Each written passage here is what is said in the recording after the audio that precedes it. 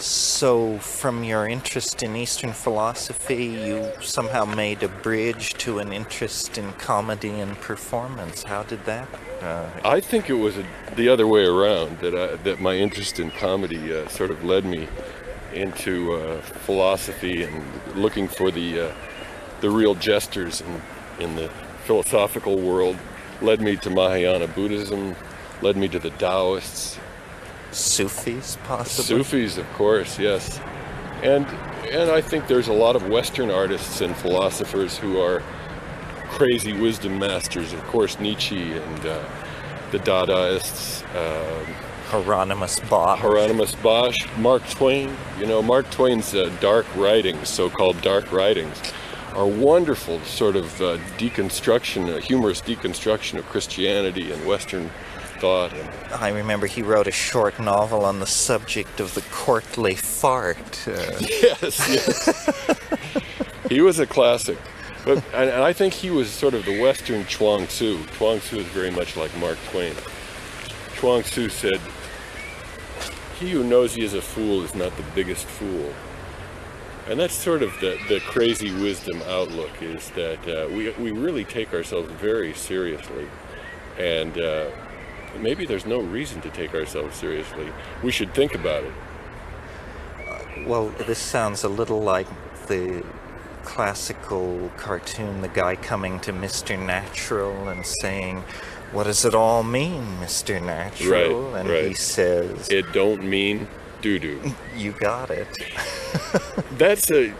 There are some crazy wisdom masters though who who uh, sort of transcend that view and and they have a they have a more benign uh, feeling about the human condition, but there are those who uh, uh, coming out of the crazy wisdom school, you might say, although they they would all deny they're in a school, who who think that life is is pretty much meaningless and. Uh, it's the joke's on us. I mean, here we are born into a life we didn't ask for, not told why we are here, what we're supposed to be doing, and given just enough awareness to know that we exist and that we're going to die. And it's like Wavy Gravy says, if you don't have a sense of humor, it's just not funny. Yes, well, didn't somebody say life is a joke without a punchline and death is a punchline without a joke? Franz Kafka, you know, once said, uh, the meaning of life is that it stops.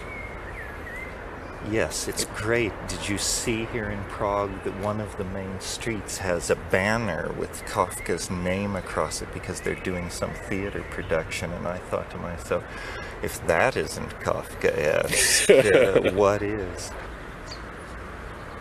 So we've been talking about your interest in Mahayana. I know your main uh, interest is comedy and humor. As the author of Crazy Wisdom, can you put those two things together for us? Yeah, it's uh, it's sort of like a cosmic perspective and a comic perspective are one and the same if you get the right angle on uh, the human condition, you know. And uh, there are many great uh, fools and jesters who have also been mystics and uh, have really had the overview of overviews and yet make a lot of jokes and make light of it. It's sort of the, the lighter side of enlightenment, you might say. So you mean the great madmen of Western history, uh, Hieronymus Bosch, uh, Dalí, Ensor, Mark Twain, Mark Twain. Groucho Marx. I mean, you name it. There's there, there's a million of them, and they're both Western and Eastern, and they they both. Uh, all the crazy wisdom masters uh, seem to say that you know this this life is a is an enigma, and if it's not an enigma, what is it? You know. Uh, So if you can't understand it, at least you can laugh at it. Yes, trying to laugh through the tears. I mean, that's been the, the ancient uh, Jewish Jewish way through their, all their oppression. And uh, being a Jew, born and raised in Nebraska, life has always been a little strange for me. You know, I've always felt a little like an alien. I was going to say an extra environmental for sure. yes. I'm talking with Scoop Nisker, the author of Crazy Wisdom. Well, now your uh, your métier tends toward performance. Is that right? Actually, uh, partially performance. Not a lot of people get my uh, jokes. Uh, it's mostly transpersonal people that get my jokes. So I do workshops uh, mostly in crazy wisdom. Sometimes with Paul Krassner, the editor of The Realist. Mm-hmm. We have workshop participants make up their own religions and uh, their own governments, and then present some kind of ritual that would would uh, give the facets of that government or religion. So basically, it sounds like the premise of crazy wisdom is irreverence and uh, breaking down of boundaries surrounding sacred cows and institutions. Absolutely, and and saying that you know we really don't know, and we have to look at all of our stories and see them all as, as only possibilities, and and that nobody's got the the answer, um, and also that. Uh, uh, you know, we think so much of ourselves, we take ourselves so seriously, and we think we know what's going on. But every century or so, and every new civilization, we find out that the previous one was wrong. And so to recognize, as Chuang Tzu says, that uh, they who know they are fools are not the biggest fools, you know. So, would you be willing to sign on to the idea that the world is not only stranger than we suppose, it's stranger than we can suppose? Yes, yes. I sign on to that. Good. Well, listen, uh, can we have a hit of your Sure. Kunst here? Let me step away and you just uh, do your thing. That's your bag. That's my bag. Well, I'll sing a little song of introduction. I wear crystal, I think kind of mystical. I like brown rice and green tea. I got myself a mantra, tried a little tantra. Meditation sets me free. You can tell by the things I do. I'm a middle class Jew.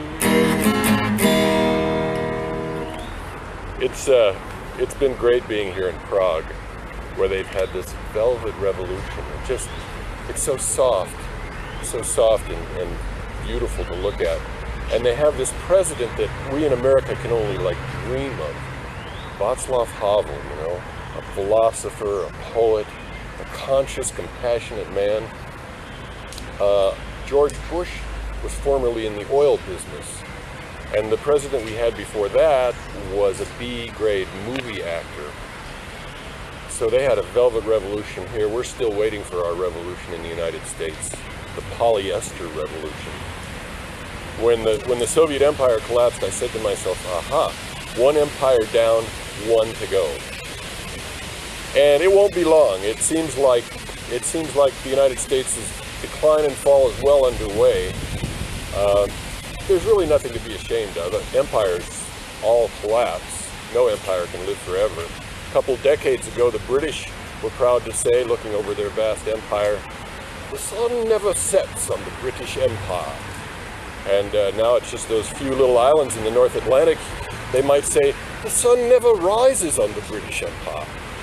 So that's, uh, it's the fate of all empires. And uh, ours is on on the decline, real steep these days. You know, the biggest national debt in history, the biggest trade deficit in history. The Japanese make better cars and TV sets than we do. The French make better bottled water than we do. God knows the Czechoslovakians make better beer than we do.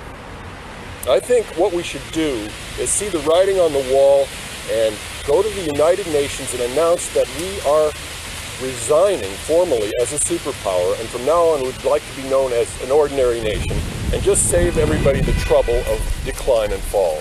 That would really it would be it would set an example for all empires to follow. I think it, it's really a good idea. And uh, there's a candidate for president who could lead us in this decline and fall, make it easy for us. Uh, my friend here, nobody. Nobody uh, will lower your taxes. Nobody will feed the poor, and nobody can fix the economy because nobody's minding the store.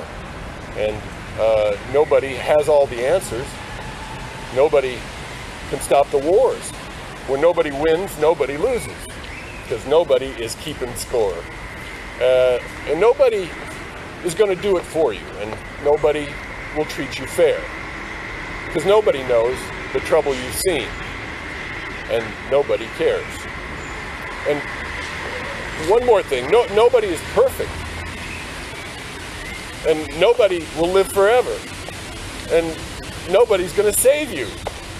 Nobody knows what's going on. And nobody is the one and only one. Uh, well, one more thing. Nobody loves you. Oh, uh, and nobody could be so divine. And nobody can fool all the people all the time. Well, uh, the Transpersonal Conference, that's what we're here in Prague for. And uh, really what it's all about is uh, breaking out of your personal trance. Transpersonal is breaking out of your personal trance and into the cosmic dance. And you do this by breathing hard and fast and hyperventilating, or by taking psilocybin mushrooms and having a vision, or by uh, taking a hero's journey or a shaman's journey, or taking a Course in Miracles, developing your imagination, your mythic imagination, your intuition, uh, getting in touch with your heart chakra, your right hemisphere of your brain until you can see the implicate order and you can smell the morphic resonance and you can feel yourself dissolve into the, the ultimate hologram of the universal ground of being and learn to love it all as you do yourself. That's transpersonal and it's breaking out of your personal trance and into the cosmic dance. Because really, you know, we are all one. I'm one anyway. I think you're probably one too. And, uh, you know, those, those people who achieve oneness can then move on to two-ness. Something like that.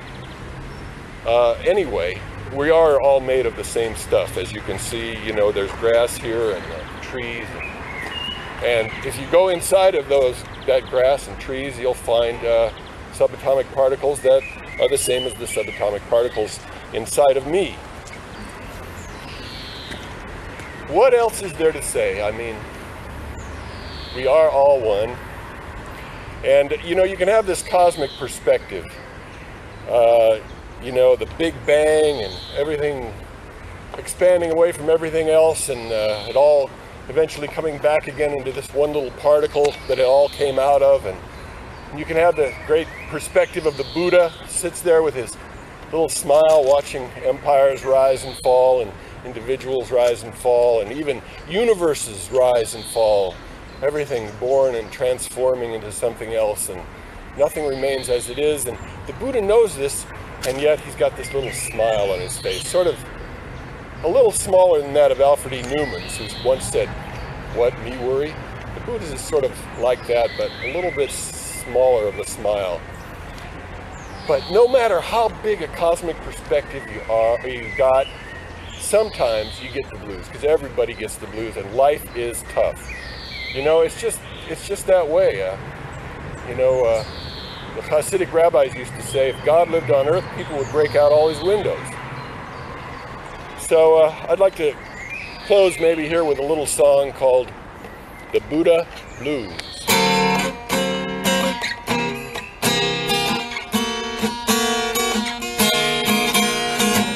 Woke up this morning, there was trouble in my mind. I tried some meditation, but no peace could I find. Called up my guru, I asked him what to do. He said, son, you just gotta remember that first noble truth. You were born to suffer.